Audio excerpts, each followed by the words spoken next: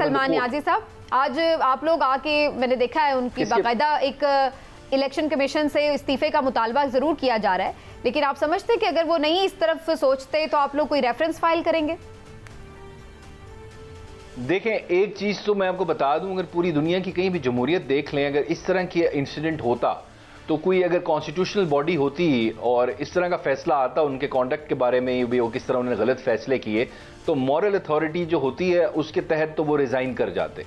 और किसी भी जमहूरियत में ऐसा होता तो उनको करना चाहिए। लेकिन यहाँ पे हमने कानूनी पोजीशन देखनी है रेफरेंस फ़ाइल करने के लिए। Whether this election commission and its members have committed misconduct के नहीं। तो बिल्कुल जी मिसकॉन्डक्ट में तो फॉल करते हैं uh, क्योंकि उनका एक तो सप्रेशन ऑफ़ फैक्ट्स है। कानून के बिल्कुल पेटेंट वायलेशन ये भी नहीं कि कोई ग्रे एरिया हो। साफ़ नज़र आ रहा है कानून के खिलाफ जा रहे हैं आइन के खिलाफ जा रहे हैं और उनका कॉन्डक्ट जो है क्वेश्चनेबल है। तो बिल्कुल ये रेफरेंस का केस बनता है हम लोग इस पे अभी फर्दर डिस्कशन करके वी विल मूव फॉरवर्ड और हमारा अच्छा, मानना है सुल्तान राजा साहब को और उनके मेंबर्स को नहीं रहना चाहिए इलेक्शन कमीशन अच्छा अबू सर साहब आपने अभी जो ये बात की कि किसी भी जमहूरियत में जो है इस तरह नहीं होता और वो इस्तीफ़ा दे देते हैं तो क्या पाकिस्तान में आपको कोई मिसाल किसी हकूमत में किसी इदारे में ऐसी मिसाल मिलती है जो इलेक्शन कमीशन पे पूरी नहीं उतरती? किसी के फ़लाँ बंदे ने तो दे दिया था फ़लाँ हुक्मरान ने इस्तीफ़ा दे दिया था फ़लाँ चीफ जस्टिस ने इस्तीफ़ा दे दिया था। हमारा अलमिया तो ये ना कि यहाँ तो कोई मिसाल नहीं मिलती। नहीं नहीं देखें अभी भी कुछ मिसालें मौजूद हैं। अब अगर हमारी खास कर मैं जुडिशल हिस्ट्री देखूँ। हम्म। हमारे एक जज साहब थे इकबाल अमीद रहमान साहब। जी, जी। सिर्फ़ इल्ज़ाम लगा था। हालाँकि he was a very good जज आपको पता भी होगा। हाँ उन्होंने रिज़ाइन कर दिया। तो इतने अच्छे लोग होते हैं कोई थोड़े ऑनर वाले डिग्निटी वाले कि जो इल्ज़ाम लगता है तो बिल्कुल साइड पे हो जाते हैं रिज़ाइन दे देते हैं। लेकिन कम है लेकिन बिल्कुल है। लेकिन ये तो एक छोटा मोटा इल्ज़ाम नहीं है ना पूरा कॉन्डक्ट एक the way election commission operated pre poll rigging post poll rigging हर चीज़ में इन्वॉल्व रही है तो इलेक्शन कमीशन का तो बनता है रेजिग्नेशन सर उनके नाम के साथ चीफ नहीं लगा था ना। जिसके साथ चीफ लग जाए वो नहीं ना चलिए थोड़ा आगे। लेकिन सलमान न्याजी साहब जो हमने देखा कि ये मखसूस नशस्तें हैं जिस तरह से भी इनकी तकसीम हुई आज सुप्रीम कोर्ट ने कहा कि गलत है लेकिन उसके बाद ही सेनेट का इलेक्शन भी हुआ सदर का इंतखब भी हुआ। तो आप लोग इसको भी अब चैलेंज करेंगे क्योंकि ये फैसला इस मामले पर तो खामोश है। आप लोग चैलेंज करेंगे क्या कि ये भी दोबारा से इंतबात हो क्योंकि नंबर गेम बदलती है। जी। इसकी नहीं देखें एक दो चीज़ें हैं। एक तो इसकी एप्लीकेशन मेरे ख्याल से नौ पाँच से है। तो नौ पाँच से पहले वाले जो फैसले हैं, वो तो प्रोटेक्टेड हैं इस फैसले के तहत। और जहाँ तक वैसे दूसरी बात है फॉर इंस्टेंस ये नंबर्स आने के बाद अगर सदर का इलेक्शन अफेक्ट हो सकता है मेरी नज़र में कि उनके नंबर्स पूरे नहीं हो रहे देन तो आप डिमांड कर सकते हैं री इलेक्शन जो उसको चैलेंज कर सकते हैं। अदरवाइज़ अगर मेजोरिटी उनके पास फिर भी एग्जिस्ट करती है for election of the president तो मेरे ख्याल से फिर आ, इतना आसान नहीं होगा क्योंकि उस पर इफ़ेक्ट नहीं पड़ेगा अगर हमारे पास ये सीटें आ भी जाएँ।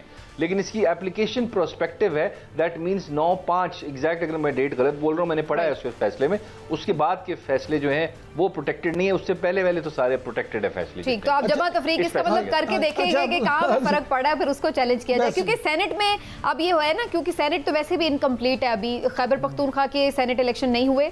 और अब वाज इम्कान है कि दस के करीब नशस्तें दस से ग्यारह नशस्तें पीटीआई जीत सकती है वहाँ से। तो फिर नंबर गेम में कुछ सेनेट में तो फ़र्क पड़ सकता है। नहीं लेकिन समीना एक और बात जी ये फाइनल जब कैलकुलेशन आएँगी तो देखा जाएगा। हाँ जी। लेकिन न्याजी साहब एक बात ये भी है कि जो ये कहा जा रहा है कि आज का फैसला तो भले आपके हक में आ गया लेकिन वज़ीर अजम मियाँ शबाज शरीफ ही हैं और वही रहेंगे सदर ममलिकत आसिफ अली सरदारी साहब हैं और तो वही रहेंगे। हम्म। चीफ जस्टिस काजी फायजीसा ईसा साहब हैं और वही रहेंगे। Army chief general Asim Munir साहब हैं और वही रहेंगे। चीफ इलेक्शन कमिश्नर जो हैं वो राजा साहब हैं और वही रहेंगे। तो इसका मतलब है कि ये फैसला जो है सिर्फ़ एक अमेंडमेंट कर हाँ। चीफ जस्टिस काजी फायजा साहब का कभी इम्कान है कि वो अक्टूबर तक रहेंगे। अदरवाइज़ ये इक्वेशन तो जो थी वो थोड़ी बदल वो तो अपनी जब उनकी डेट खत्म होगी तो रिटायर हो वो वो टू थर्ड मेजोरिटी से जुड़ा हाँ हुआ था ना मामला। लेकिन इसमें वैसे चलिए आप इसको भी अगर रिस्पॉन्ड करना चाहें तो ज़रूर हाँ। कीजिएगा लेकिन साथ में ये भी सवाल मेरा ले लीजिए कि इसको यूँ जोड़ लेते हैं कि ये नशस्तें तो आपको मिल गई लेकिन जो आपकी मेन पिटिशन है कि जो जनरल नशस्तें आप लोगों की चोरी हुई हैं या उसमें मुबैना धांधली हुई है उसके ऊपर तो अब एक नई कानून साजी भी हो चुकी है और उसके मुताबिक तो रिटायर्ड जजेस भी लग सकते हैं और काफ़ी उसमें तब्दीलियाँ तो उसका तो फ़िलहाल हमें लग रहा है कि वो मामला तो आप लोगों के लिए उस तरह से नहीं, उसके लिए आपकी क्या हमत अमली है? जी, आपने थोड़ा सा इमरान साहब के सवाल का जवाब खुद ही दे दिया। अब इसमें ऐसे था जी, एक तो यह है, चीफ जस्टिस तो वो नहीं रहेंगे, तकरीबन मेरे ख्याल से 103 दिन रह गए हैं। और दूसरी बात है ये सदर और वज़ी अजम जो हैं मेरे ख्याल से अगर जो हमारी इलेक्शन पटिशन हैं, जिस पे हम फॉर्म 45 पे जीते हुए अगर वो विद इन टाइम जो सिक्स मंथ्स का पीरियड है इलेक्शन ट्रिब्यूनल्स डिसाइड कर देते हैं तो मेरे ख्याल से ये इक्वेशन भी चेंज हो जाएगी। और, जहाँ तक आगे बात है इलेक्शन ट्रिब्यूनल की, देखें, यही तो प्रॉब्लम है सारा। अब इलेक्शन कमिश्नर कमीशन का और उनके खासकर चीफ इलेक्शन कमिश्नर का कॉन्डक्ट इतना क्वेश्चनेबल है कि वो लोग ये चाहते ही नहीं हैं कि इन मुल्क में जो इलेक्शन ट्रिब्यूनल्स बने हैं, वो फैसला करें आइन और कानून के मुताबिक within the specified time period जो है, कानून के मुताबिक। तो वो देखें, सारी प्रोसीडिंग्स को फ्रस्ट्रेट करते हैं। उसके अलावा नया नए कानून आ जाता है गवर्नमेंट के साथ मिलकर कानून बनते हैं और बिल्कुल रेडली एग्री हो जाते हैं कि हम रिटायर्ड जजेस अपॉइंट करेंगे। रिटायर्ड जजेस जिनकी तनख्वाह, उनका टर्न्योर हर चीज़ गवर्नमेंट पर डिपेंडेंट होगा इलेक्शन कमीशन पर डिपेंडेंट होगा। उनसे ये फैसले करवाना चाहते हैं हमारे धांधली के। एक मैंडेट थेफ्ट हुआ है रॉबरी हुई है, ये कोई एक दो केसेस का इशू नहीं है। 270 पिटिशन फ़ाइल किए हुए हम लोगों ने।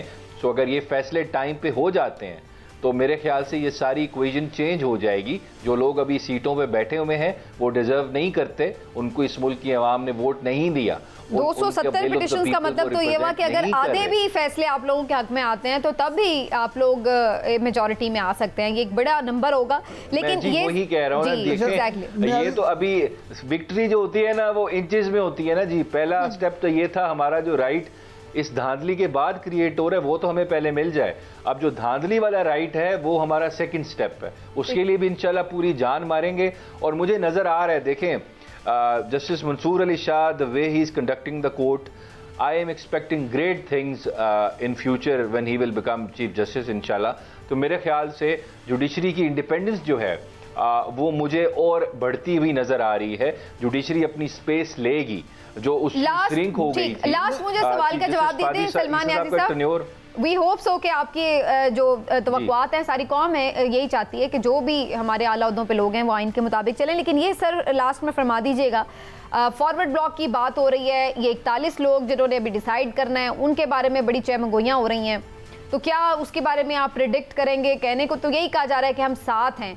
लेकिन बंदे महफूज हैं आप लोगों के वाकई करवा दें हमने आ, हाँ जी मुझे समझ आ गई आपकी बात की देखिए हमने पूरा उसका प्लान तो कर लिया है इनशाला ये एक दो दिनों में ये चीज़ सॉर्ट आउट भी हो जाएगी सारी इस पर वर्किंग अच्छा। हो गई है लेकिन अच्छा। अगर ये सवाल आप मेरे से फॉर इंस्टेंस एक साल पहले पूछती ना हम्म। नौ मई के फ़ौरन बाद तो मेरा बड़ा खदशा होता था रीजनेबल एप्रीहेंशन होती कि शायद मेरे चालीस एम एन अगवा भी हो जाते और उनको कोई पूछता भी ना और वो नज़र भी ना आते चालीस दिन तक और उनकी प्रेस कॉन्फ्रेंस आ जाती या कोई एफिडेविट आ जाता कोई बयान आ जाता कि जी मैं पार्टी छोड़ रहा हूँ। आ, लेकिन अब हालात चेंज हो गए हैं। अब सबको पता है आठ फरवरी के बाद चीज़ें चेंज हुई हैं।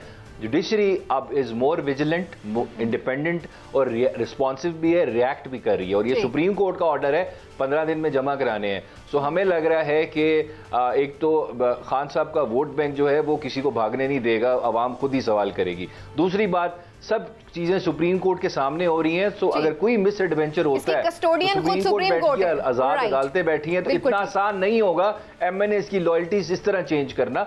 वो उनको भी पता है जी आ, किसका वोट लेके आए ऊपर सुप्रीम कोर्ट भी देख रही है हाई कोर्ट भी देख रही है so it will not be an easy job तो हमें उम्मीद है इंशाल्लाह सारे आ जाएँगे वी वेरी कॉन्फिडेंट चलिए जी आपको एक दफ़ा फिर से मुबारक सलमान न्याजी साहब आपका बहुत बहुत शुक्रिया प्रोग्राम में शामिल होने के लिए।